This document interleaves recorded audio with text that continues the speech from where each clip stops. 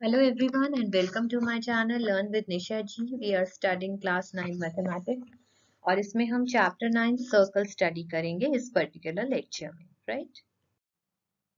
So we are discussing exercise 9.3 question number 7. It says if the diagonals of a cyclic quadrilateral are diameters of the circle through the vertices of the quadrilateral,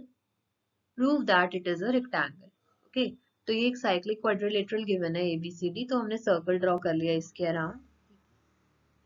BD और सी ए ये हमारे diameters है. This is given to us हमें prove करना है कि ABCD is a rectangle right तो अब एसी अगर डायमीटर है तो एंगल एबीसी ठीक है this angle and angle ADC दोनों 90 डिग्री होंगे because these are angles in a semi circle correct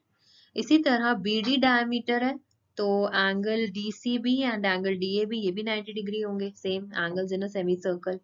तो इस क्वाड्रिलेटरल में all four angles are 90 degree each hence it is a rectangle right i hope the question is clear do like the video subscribe the channel and stay tuned to learn with nisha ji for more updates thanks for watching